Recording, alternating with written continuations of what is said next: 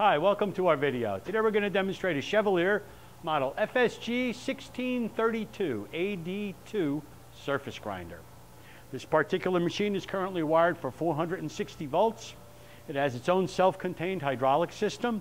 It also comes with its own coolant system, the tank. It's got the, the, the filter paper with the float switch and a pump. So as the, as the paper clogs, it'll advance forward and keep itself clean.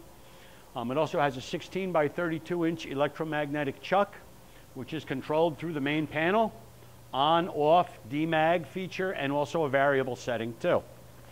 Um, this machine does a whole bunch of stuff. I'm not going to get into all the features, but we, we got it set up to do a little demonstration. It's in the park position now. We're going to start it up, grind a couple thousandths. It's going to spark, spark out, and it'll park again too. Let me start it up. That's the spindle.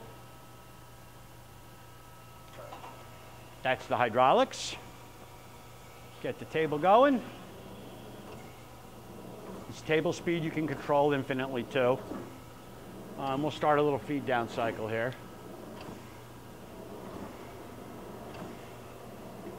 And it is feeding down.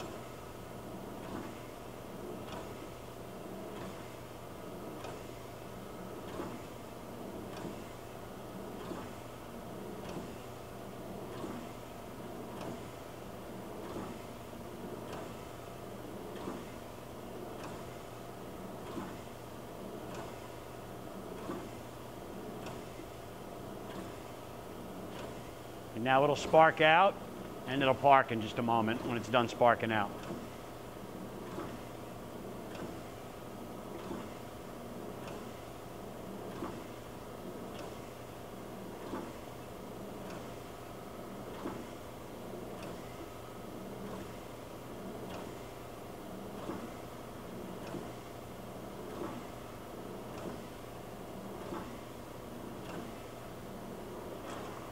There you go. Now it's parked and it's ready for its next operation. When it parks, it shuts off its own hydraulics and the wheel in case you're not here right when that happens.